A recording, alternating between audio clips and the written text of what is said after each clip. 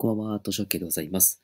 本日もね、ちょっとスマスロ関連見ていきたいと思うんですけれども、まずね、今が、えっ、と、5月10日のですね、えっ、と、夜の11時半ですね。えっ、と、先物がね、今、マイナス0.27%というところでございまして、うん、ちょっとね、もしそろそろ、もしかすると下げ局面が来るのかなと。まあ、ビックスはね、16なんですけれども、うん、ちょっとね、難聴の展開と、やっぱ加熱感まだあるんでね、そういったところがどうかなってところはあるんですけれども、はい。まあ、まずね、えっ、と、6733アクセルです。アクセルですね。うん、保守的すぎる決算で、やっぱり暴落しましたね。うん。まあ、ここは、ある程度読んでました。やっぱ1450を下抜けて1400に行ったというところでですね。はい。で、もう日足で多分200日。そうですね。うん。やっぱタッチするとちょっと反発してきてるんで、うん。ちょっと明日もね、ちょっと警戒した方がまだいいかなと思います。はい。むやみに入るよりも。で、まあ、ビビたるもんですけどね、若干ね、あの、改ざんの方も今日入ってるんですよ。で、空売りのね、貸し株もね、返済してるので、うん。まあちょっとね、ここから発展していってほしいかなって気もするんですけど、どうすかね。まあ今日ちょっとね、ニュースとしてね、うん。一個出てましたよね。まあ無反応でしたけどね。AI 音声認識というところで。うん、なんかね、アクセル、あれなんですよ。前回もそうだったんですけど、決算翌日にね、こういう IR 出すんで、なんかこれ、これでちょっとやめてほしいんですよね。しかも時間が中途半端じゃないですか。前もね、なんかこんな感じだったんですよ、アクセルってなんか。どれだったっけなそうですね、これ。22日に出して23日。これもね、ここでちょっとまた上に来たんですよね。だこれね、ちょっと出し方考えてほしいですけどね、IR の方に。というところはね、ちょっと思うんですけど。うん。まあちょっとね、需給は、ちょっとまあ悪化してるってわけじゃないんですけれども、明日ね、ちょっと上がってくれば、ちょっとその分売り圧も出てくるかなと。売り確定売りもね。っていうところはちょっと要注意しながら、うん。見ていってもらえればね、いいんじゃないかなと思うんですけど、さすがにね、もう、ちょっと売られすぎてる感じもしてなくはないので、はい。まあ、様子見次第で、あと板状況で入ってみても面白いかなとは思いますね。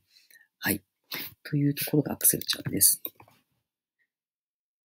で、明日ね、3強ね、うん。決算出ますよね。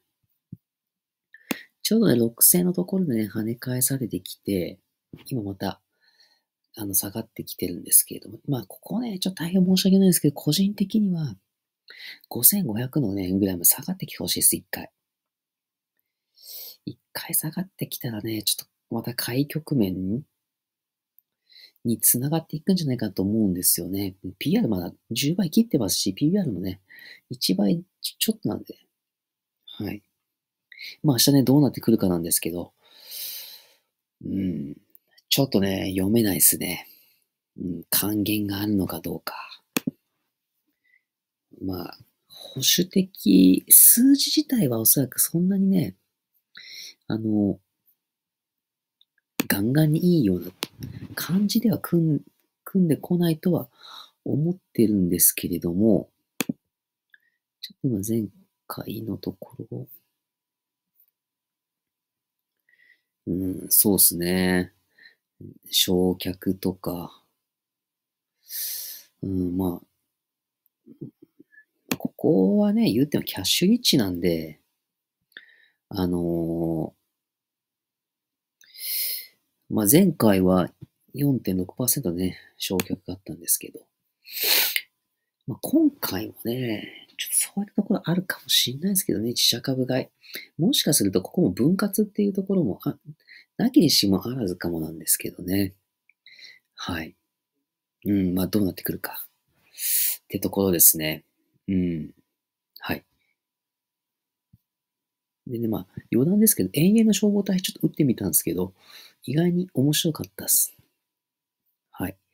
あの、ほんとね、奇跡的にね、もう、マミヤとかアクセルで負けちゃってたんですけどね、永遠の消防隊意外に500円でね、ついちゃって、そっからあの、わけもわからず、あの、なんか4500になって、で、えっ、ー、と、その後、え、超、超ボーナスだったっけな？はい、すいません。ちょっと忘れたんですけど。っていうのが取れたりしてね、まあ結構、あの、出ちゃって、っていう感じで、意外に面白かったですけどね、まあ、すぐ着いたからなんですけど。はい。まあね、そういったね、あの、永遠の消防隊、今度スロットもあるし、で、ユニコーンのアマアマデジも出ますから、はい。あと、まあ、バイオハザードか。あ、すいません。バイオはササミーでしたね。はい。あのー、まあ、あとね、エヴァっていうところもね、出てくるんじゃないかなと思いますしね、今後。うん。今季はどうなのかなまだ悪くないとは思うんですけど。はい。まあ、ちょっと明日の計算したいというところでございますね。はい。で、あとね、大黒電気っすね。これ、えらいとばっちりっすよね。何も悪いことしてないのにっていうようなところで、もうここね、75日タッチしましたよね。うん。やっぱここも似たような感じなんですよ。さすがに、ここから200日タッチっていうところは、相当や割りやすく出てくるんで、ちょっと考えにくいんですけれども、おそらくね、ここからは、ちょっと、うん、反発ありそうかなと思います。で、もう一個ね、ちょっとまーちゃんも見てみると、まーちゃんもね、ちょっと今日やっぱり下がってきてます。まーちゃんね、ちょっとまだ下落余地はあるかなとは思ってるんですけど、まあ下のね、ラインのこの2800円ぐらいのところで、あ、2900今。なんで、まあ2000、下がってもこのくらい。いや、でもやっぱこのくらいか。2800か2750とか、うん、2000、そのぐらいですかね。やっぱタッチして。っていうところはあるんですけれども、まあ、まーちゃんもね、決算まだ先というところ、1倍割れとかね、うん。もうちょっとなんか還元打ってくるかなと思ってるんですけどね、どうなんだろうというところなんですけど、まあでもね、ちょっとまーちゃん大黒、やっぱ、あの、売られすぎてるっていうのはやっぱここっすよね。マミヤ。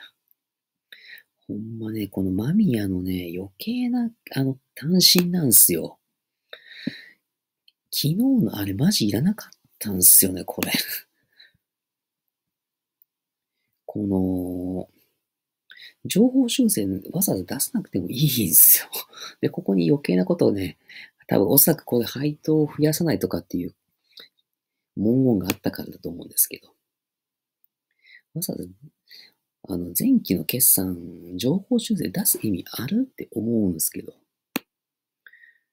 まあ、おそらくね、そういったところでユニット関連がね、ちょっと弱含んだとは思ってるんですけど、ただね、マミヤの決算見ると、あの、結構保守的に組むかなと思ったんですまあ、そういう意味からすると、予想外でしね、良かったなと思います。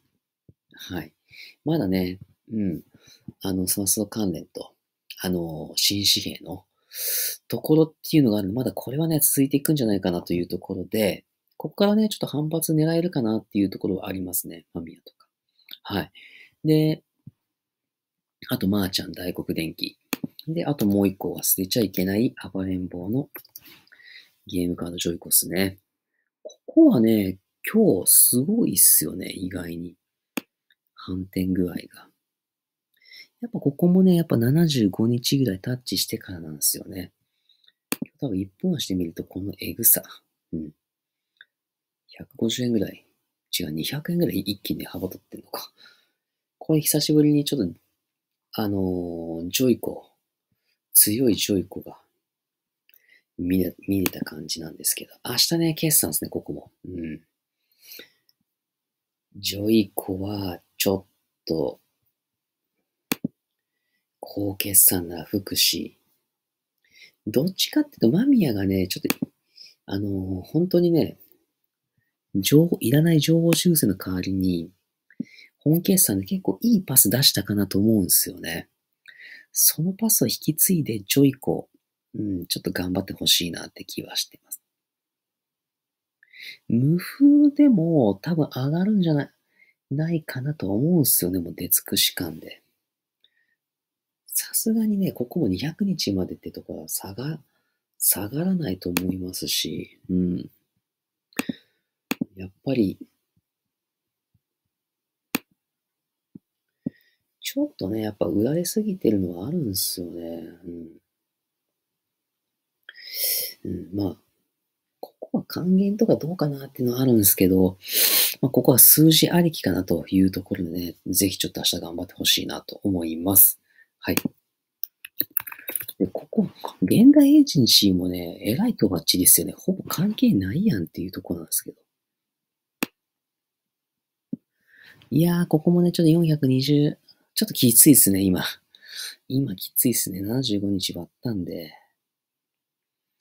でもこれ、決算ね、悪くないし、あの、いいと思うんですけど、ほんと、マミヤのね、とばっちり食らった感じですね。うん。ちょっとここはね、比較的打診で入ってもいいんちゃうかなって気もしてるんですけどね。はい。で、あと、ゆうちゃん。ゆうちゃんは強いですよね。うん、マジで。もうここ特にあの何もないかなというところなんですけれども、はい。で、ユニバ。ユニバーサルもね、まあ、今日は、まあ、下げだったんですけど、ユニバーサルあさってですね。うん、まあ、特段、かもなく不可もなくっていう感じで。ただね、チャートとしてはちょっと悪いっすよね。うん、これ。うん、ちょっと下がってきたらね、入りたい感じはするんですけどね、ユニバは。はい。まあ、かなり割安感は感じてるんですよね。はい。富士商事ね。富士商事も朝ですね。ユニバーサルと。ここもね、だいぶ割安感出てきましたね。PBR0.7、PR5.3 倍。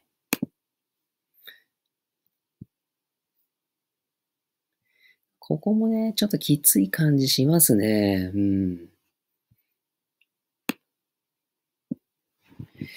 ちょっとね、このまま1200円ぐらいまでいきそうな気がします。はい。まあ、この2日間でそこまで下がるかどうかってのもあるんですけど、ただ相当割安感が、割安なので、で、今期富士商事、あの、私結構いいと思ってるんで、決算後はね、多分上がると思うんですよ。まあ、保守的に組みそうなんですけど、保守的に組んで下がったところに上がってくる。まあ、以前のね、この、ぐいぐい上がって勢いはちょっと感じないかもしれないですけど。うん。まあ、それにしろね。うん。まあ、今もかなり割安感ありますし、この前回のね、この、前回決算が2月27ぐらいかな、確か。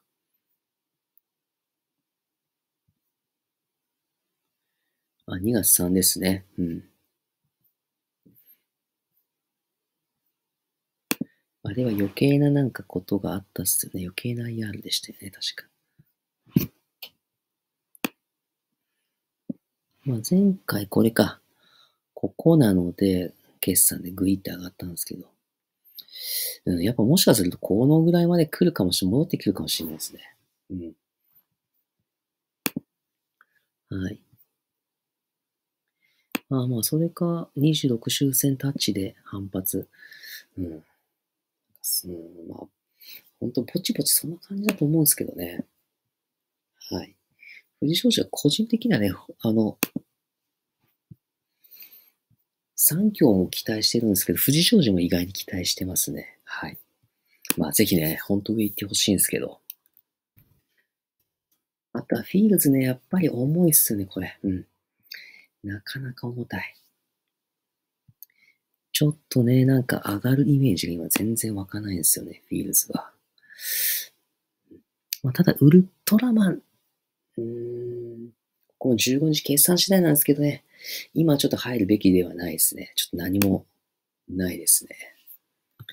そんな中でね、泉、泉ね、結構受給がね、いいっていうか、短縮倍率がね、かなりいいんですよ。で、今日の他が暴落した中でもね、そんなに下がってないし、